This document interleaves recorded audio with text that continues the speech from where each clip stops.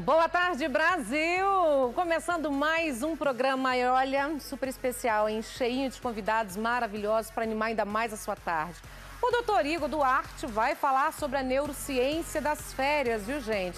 Como esse descanso das férias pode ajudar o nosso cérebro. A doutora Patrícia Evangelista, maravilhosa, vem tirar todas as nossas dúvidas sobre previdência privada. E claro que quando ela está comigo, a gente abre o leque, né, gente? O advogado Nelson Hong vem dar dicas de empreendedorismo, viu, gente? Para você ter sucesso na sua carreira. E hoje é dia de roda de mulheres, mas bem diferente, porque hoje nós vamos fazer uma roda, né, começando um ano diferente. Vamos receber casais que treinam juntos, que têm o mesmo estilo de vida saudável. Então, programa começando, já sabe, 25786000, tá liberado o telefone, pode ligar à vontade, fazer a sua pergunta, ou também através do WhatsApp, 953970461. Quer mandar um recadinho do WhatsApp? Tá liberado também. Fique bem à vontade, porque o programa é feito para vocês. Sejam bem-vindos! Ei, meu neurocientista, tudo bem, doutor? Como vai, Nani? Bom ano! Você também. 2018 mal começou e já é um excelente ano. Que bom, É, né? Vai ser um ano excelente para todos E nós. agora eu quero entender, este é o homem que entende da nossa mente, da cabeça, na verdade do cérebro, um neurocientista. Férias. A gente está falando aqui do descanso do cérebro. Isso é de fato comprovado? A gente precisa desse tempo, a gente precisa das férias. Como que é isso Olha cientificamente? só, Nani. é, Ao contrário do que as pessoas imaginam, o nosso cérebro ele não descansa nunca. Mas isso não significa que não precisa de férias. Nosso cérebro ele está ativo até quando a gente está acordado, é, dormindo. Você está dormindo, coloca eletrodos na cabeça, existem exames específicos para ver o, o sono das pessoas e o cérebro está ativo durante a noite. A mesma atividade de quando está acordado. Então, o cérebro ele não, Não descansa para. nunca. As pessoas falam assim, ah, mas eu preciso descansar o cérebro. Cérebro não descansa. Acontece que precisamos de um momento de, de pausa das atividades, que é para ativar uma área do cérebro, que a gente chama de rede de controle executiva. Né? Essa, essa rede de controle executiva, ela está sempre atuante quando nós estamos nas tarefas dos dias, do dia a dia. E quando nós entramos de férias, entra eh, em ação a rede, de, a rede de controle padrão, que essa só é ativada quando nós estamos descansando. Durante Quando o a dia, mente relaxa. Durante o dia, ela não está em atividade, ela entra em atividade quando a gente está dormindo. Nós dormimos mais ou menos 8 horas, então ela entra em atividade 8 horas e isso é insuficiente. Ao longo dos, do- dos- dos dias de trabalho, do estresse, vai acumulando, então nós precisamos de um momento de pausa, literalmente, para o Quanto cérebro. tempo seria esse tempo de pausa com o cérebro? É, o- o- os 30 dias é, de férias, então normalmente as pessoas que têm 30 dias de férias, lá pelo, pelo 15º dia as pessoas começam a ficar estressadas de tantas férias. Então, 30 dias para muitas pessoas é muita coisa. Então, 10 dias é o suficiente. Você tira 10 dias, 5 dias para você se, eh, eh, se livrar literalmente daquela sensação de trabalho e 5 dias para você ficar livre, sem fazer nada A gente e consegue, pessoas cérebro. que são mais, ah, ah, que, que fazem, por exemplo, a prática do yoga, meditação, elas têm mais facilidade para dar uma relaxada no Tem cérebro? sim, tem sim. Tem Então, essa, essa, essa meditação, ela é importante. Se consegue fazer isso todos os dias, é ótimo. Se você consegue fazer isso, muita, a maior parte das pessoas não consegue.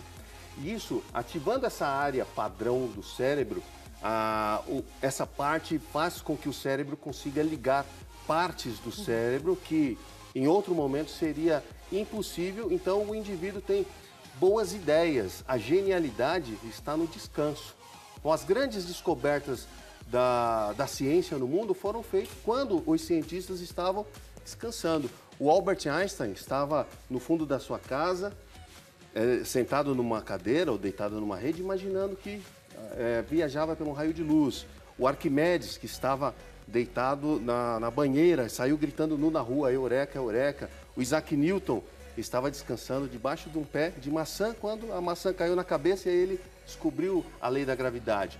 Então, é, é importante você ter esse descanso, que depois das férias, de um período, pode ser longo ou curto, você volta renovado e com muitas boas ideias para você implantar no próximo ano de, de, de trabalho. Mas e aí, não é muito pouco tempo, 10 dias por ano? É... A gente não consegue isso no final de semana? O ideal, Nani, seria se você tem como intercalar de quatro em quatro meses, dez dias de Ninguém folga, tem. seria excelente. Ninguém tem. É? Então, o que acontece, apesar que com a nova, a, a nova lei trabalhista, talvez isso vai é, tornar-se possível, talvez.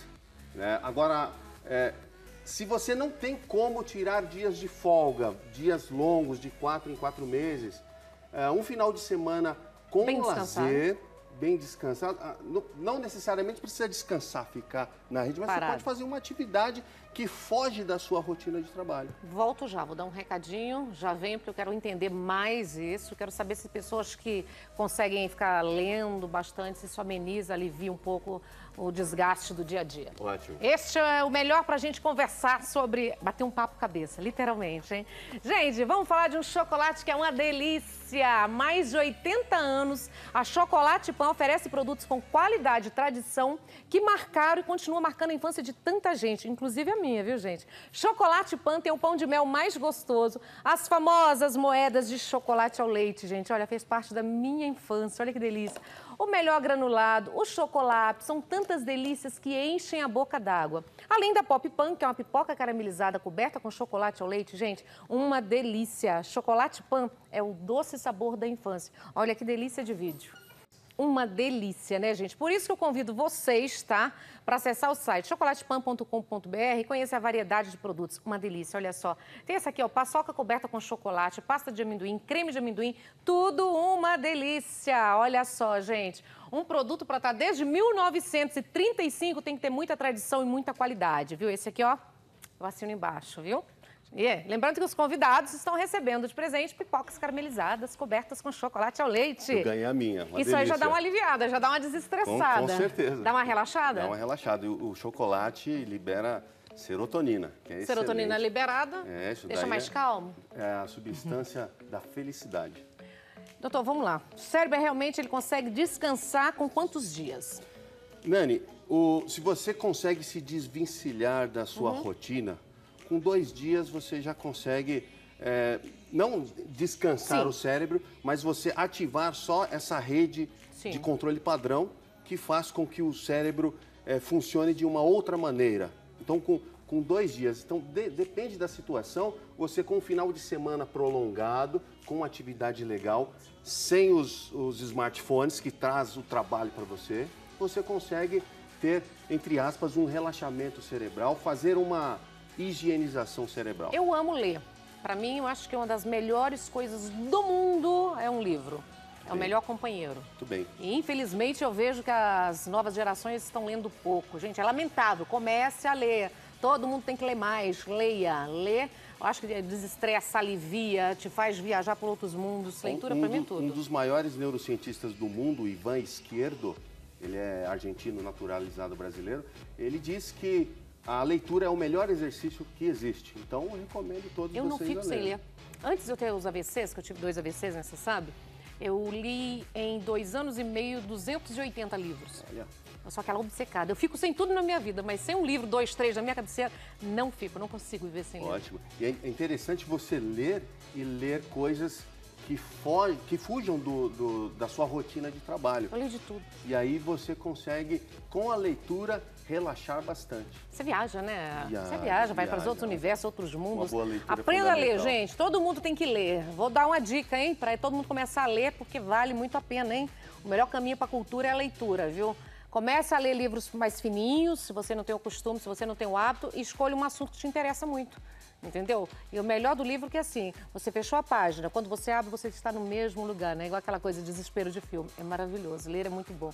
Doutor, o que pode acontecer com pessoas que ficam devidamente estressado e que não nunca tiram férias? Então, Nani, é, o indivíduo que ele vira, entre aspas, escravo do trabalho, ele tem uma, um- uma chance muito grande de desenvolver doenças de ordem comportamental, como transtorno de ansiedade, depressão.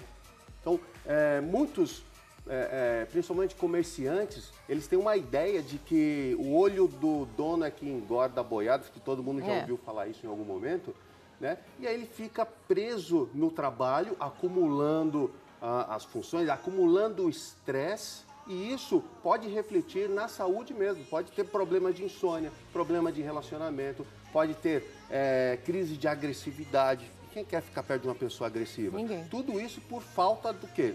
Tá? Benditas férias. Benditas e férias. a pessoa não quer tirar, ou às vezes não pode E tirar. aí, também. descansei, cheguei de férias, maravilha, tava naquele paraíso, todo mundo descansando, volta para a realidade e encara esse dia a dia, corre, corre de São Paulo, uma loucura. A gente consegue manter esse equilíbrio, tentar meditar, sei lá, parar, pensar, caminhar e não Ibirapuera da vida? Ó, o ideal é manter a atividade física. A gente já falou de outras vezes aqui. A liberação. Atividade física é excelente para o cérebro. Mas para você se adaptar à, à A realidade que é o está, choque. está saindo das férias e chegando à nova rotina de trabalho, É. sugestão que eu dou para você é pegar um caderninho de anotações e fazer, planejar o seu, o, o, o seu ano, os seus meses, as suas semanas, o que eu vou fazer na primeira semana, na segunda semana, e aí você não tem aquele impacto negativo de sair das férias Voltei. e voltei para o trabalho, que aí dá um impacto negativo. Então você vai se preparando alguns dias antes e você consegue ter um ano bastante produtivo e é isso que eu desejo para você. E o estresse? Onde entra o estresse nisso aí? Como a Nani, gente consegue evitar o estresse? Estresse, ele faz parte da vida moderna, não dá para viver sem estresse. Você fica dois meses no- numa fazenda com uma vara de pescar, isso vai causar estresse, porque estresse é excesso.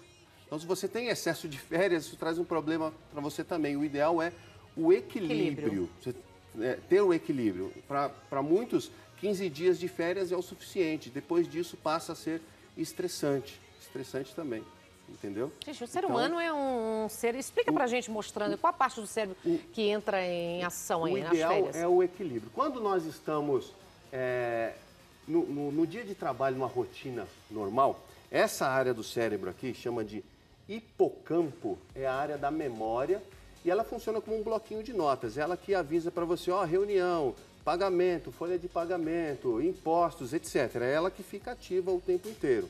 E a gente precisa desligar ela durante as férias, senão ela fica dando alerta para você. Ela ativa uma outra área, que é essa área mais é, central no cérebro, sabe? chama mesencéfalo, tem uma área específica, chama locus ceruleus. É um nome difícil, né? Produz um- uma substância chama noradrenalina, que mantém o cérebro ligado, aceso. Essa noradrenalina em excesso, ela atrapalha o funcionamento do cérebro, é, inclusive traz problemas de sono, insônia. A pessoa não consegue dormir por conta do excesso de atividade, do estresse do dia a dia. Por isso as férias são muito importantes. Chegamos das férias, né?